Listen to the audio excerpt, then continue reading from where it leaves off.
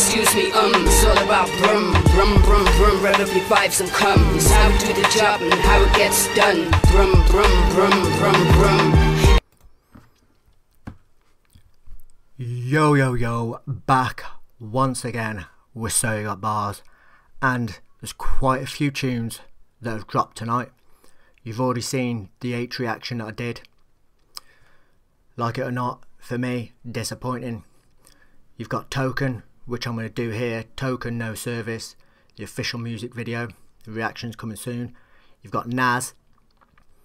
And pff, I forget the other one. There's another one and another one that I'm going to do tonight. You'll probably see him over the next few days. But let's get into this one. Token, no service. See what it's all about. He's a character, this one is. He does come with some wacky videos, some wacky lyrics. Let's see what he's got.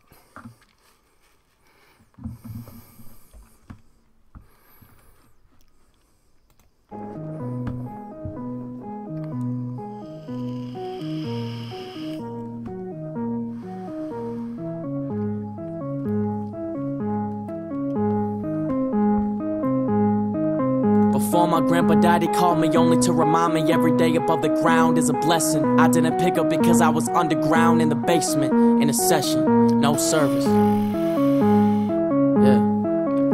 Service.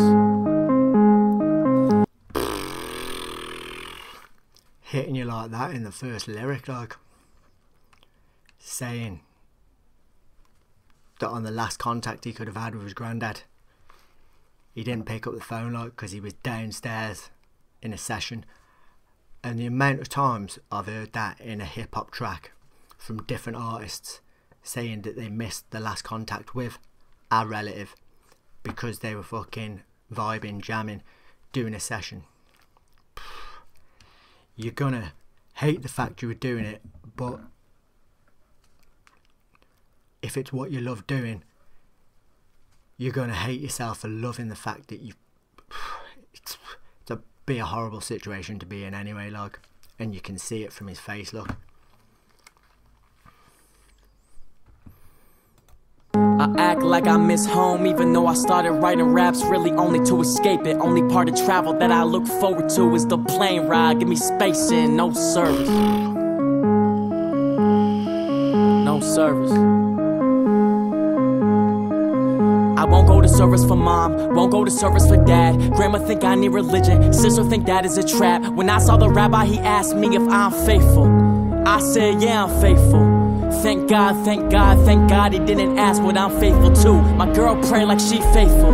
She pray, pray that I'm faithful. But no matter what I really say, but no matter what I really do, everything that I say isn't true. Everything that I say is a fight. She think that I only wanna fight, but I do not wanna fight with her. I just wanna see how much fight, how much fight she got in her, how much trust she got in her, how many how many times will I slip, how many chances I get, how much love she got in her, how much trust she got in her, how much left she got in her, how many times I bought dinner, how much cash can I spare? This meal costs like 150. I'ma flip a fucking chair if I get no service. Are you guys all set to order? Yeah. it seems as if he's pitting himself against his career and trying to figure out in the song which one holds more substance to him like family friends girlfriend the fact that he lost his granddad and then everything that comes with a career the fucking plane rides the expensive dinners, the groupies that he obviously just fucking bumping in the room then like but that's hard man that's tough Uh, you wanna go first?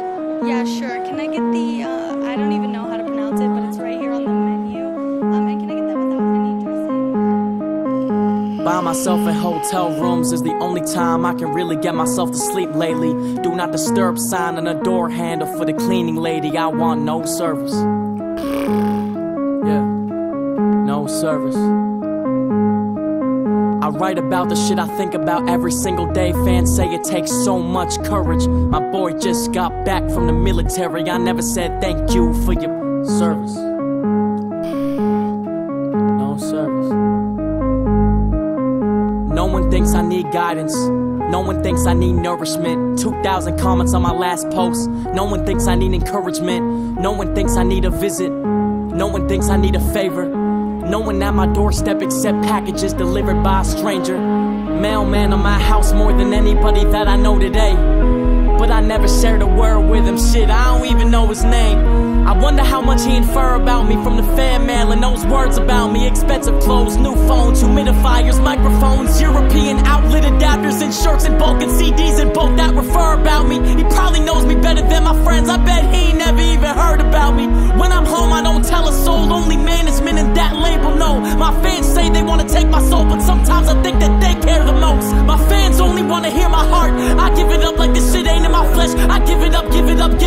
Mama said, What if one day there's just nothing left? That made me wonder who's after my soul. Shit, do I even believe in a soul? Maybe I'm just overthinking it all. Probably just overthinking it all. Monday, 8 a.m., out of bed, hit the gym, leave the gym, find the flow. Monday used to feel like a brand new beginning. Now it don't, no complaints. Old friend at the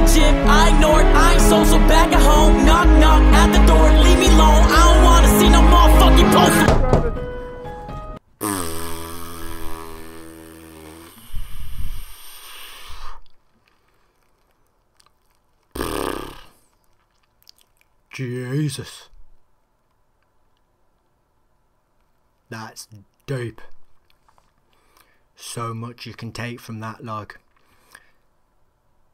It seems as if he's only longing for like a personal connection with someone, like. He's saying that through his career and everything, fans only want what's coming from his heart, and he can give that on a piece of paper, but it still requires no connection then his friends are coming back from service in Afghanistan, wherever, and he ain't getting to see him because he's away. The postman's delivering mail to him like he don't know his name, he don't know who he is, but he feels as if he knows him better than some of his friends. Seems seems as if Token's just crying out for that one person that he can connect to on a meaningful level like and just have that friend like a bit of encouragement a bit of guidance.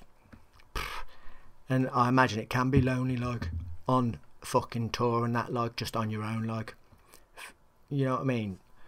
I imagine in this kind of circumstance being an artist that you're going to get friends not necessarily friends. They're only there because of who you are artist wise like you know what i mean? It's token. He's blowing up yeah, let's give him a bit of respect. They don't know him, they're only giving it him because of the token that they know. Not the actual person behind that name. Let's listen to the last 20 seconds, but I didn't stop it through the whole of that. I was so sucked in, like, that's deep, man. Postal Service, is anyone home?